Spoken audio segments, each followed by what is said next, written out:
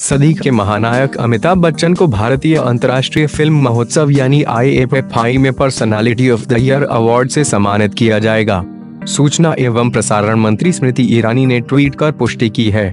उन्हें यह पुरस्कार समापन समारोह में दिया जाएगा। इससे पहले फ़िल्म महोत्सव के निदेशक सुनीत टंडन ने कहा, यह खुशी की बात है कि अमिताभ बच्चन पुरस्कार ग्रहण करने के लिए राज़ी हो गए हैं, जो उन्हें भारतीय और अंतर्राष्ट्रीय सिनेमा में उल्लेखनीय योगदान देने के सम्मान में प्रदान किया जा रहा है बता दें कि अमिताभ बच्चन पिछले पाँच दशक से भी ज़्यादा समय से फ़िल्म इंडस्ट्री में सक्रिय हैं। वह चार बार सर्वश्रेष्ठ अभिनेता का राष्ट्रीय पुरस्कार और पंद्रह बार फ़िल्म फेयर अवार्ड जीत चुके हैं फ़िलहाल Amitabh film Thugs of Hindostan और एक सौ दो नॉट आउट में काम कर रहे हैं। वैसे इस बार यह फ़िल्म महोत्सव पहले से ही सुर्खियों में आ गया है। मंगलवार को निर्देशक सुजोय घोष ने आई के इंडियन पैनोरमा डिवीज़न से इस्तीफा दे दिया।